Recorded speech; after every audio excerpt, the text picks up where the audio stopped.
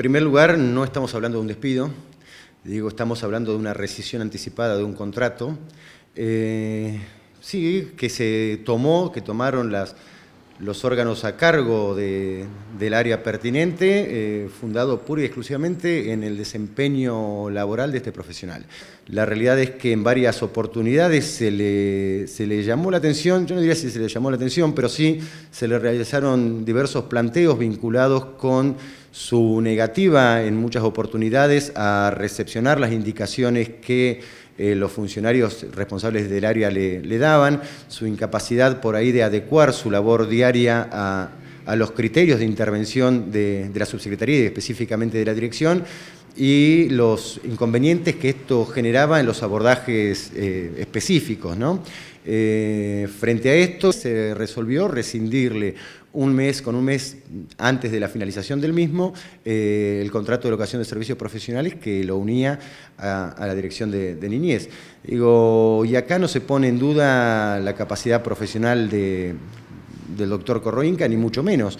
Sí, eh, una imposibilidad de adecuar su intervención a los lineamientos que están fijados por los niveles de funcionarios pertinentes. ¿No hay vuelta atrás?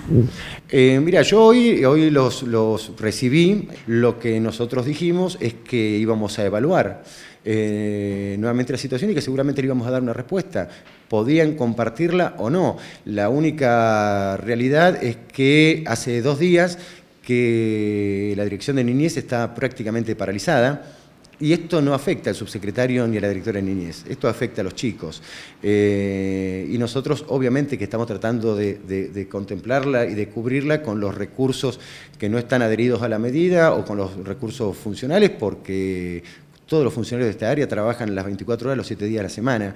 Y, esto sí yo no puedo, no puedo dejar pasar. Digo, que se ponga en duda la capacidad o el compromiso de cualquiera de los profesionales de estas áreas para trabajar diariamente en la defensa de los derechos de los niños y de los adolescentes es sumamente grave. Eh, de la misma manera que tampoco puedo eh, aceptar libremente que eh, se diga que yo le he prohibido a alguien formular alguna denuncia frente a situaciones de de vulneración de derechos.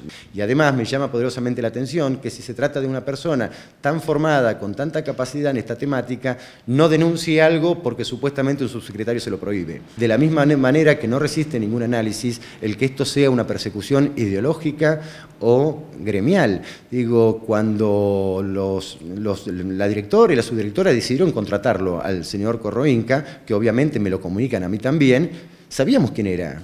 ¿A quién se le puede ocurrir que yo voy a contratar a alguien para después perseguirlo ideológicamente? Digo, es, un sinsentido. Sí reconozco que es mucho más difícil, digo, trabajar desde este lado, trabajar desde el Estado.